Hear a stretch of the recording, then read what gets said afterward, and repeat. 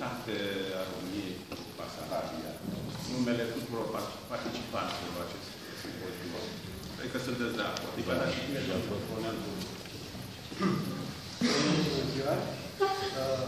Mă numesc Budul Constantin, sunt ofițer de retragere și îndeplinesc funcția de secretar executiv al Asociației Naționale Comunităților, Regina Maria, filiala Prețului Călăraș.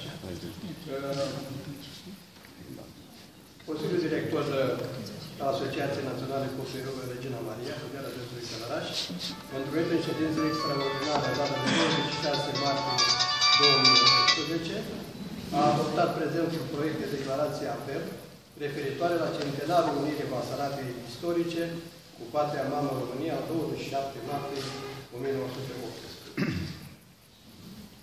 La punctul 1.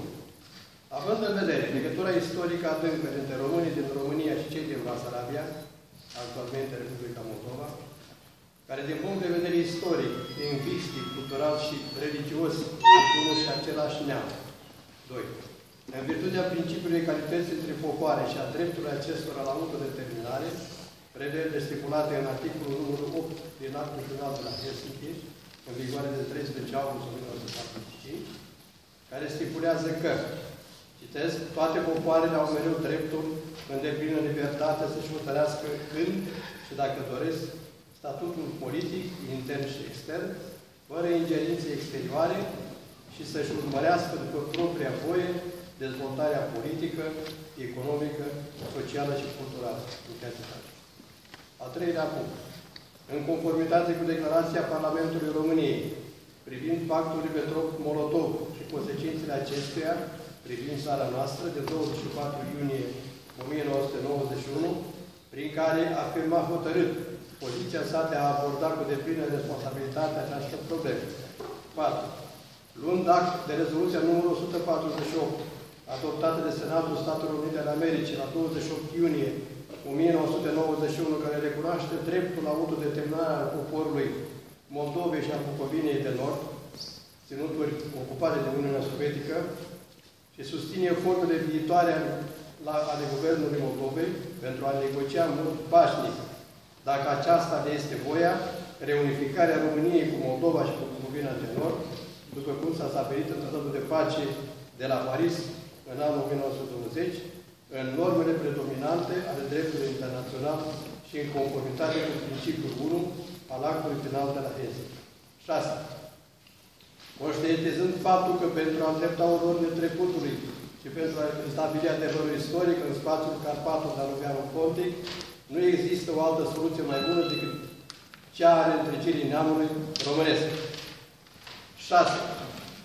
Apreciem că dezvoltarea spirituală și națională a românilor este istoric și juridic îndreptățită prin reunificarea în cadrul unei etnități statale. 7. Considerăm că generația de azi are datoria morală de a lupta pentru aceleași idealuri apărate cu prețul vieților de înaintașii noștri. Poporul român sărbătorește cu mârnirea în suflet centenarul Unirii, fără o parte din teritoriile românești, care au făcut obiectul mare sărbător de Alba Iulia la 1 decembrie 1918. Față de considerentele prezentate, solicităm președintelui și Guvernului României, tuturor forțelor politice din țara noastră, să ia act de voința poporului exprimată prin adunări publice și alte manifestări legale, să acționeze în vederea îndeplinirii năsuințelor legitime ale populației de teritoriul românești, anexate cu forța în urma înțelegerilor secrete stabilite prin pactul Ribbentrop-Molotov. Solicităm Parlamentelor Republicii Moldova și României să emită o declarație comună privind reîntrecirea țării și a neamului românesc, după care să elaboreze și să apropie un pachet de legi privind reunirea Basarabiei cu România.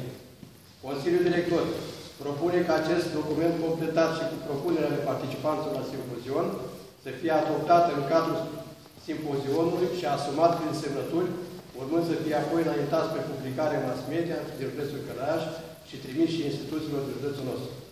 Declarația apel, adoptată în cadrul simpozionului dedicat aniversării 100 de ani la Mânere Basarabiei, în România, astăzi, 27 martie 2008. Așa se le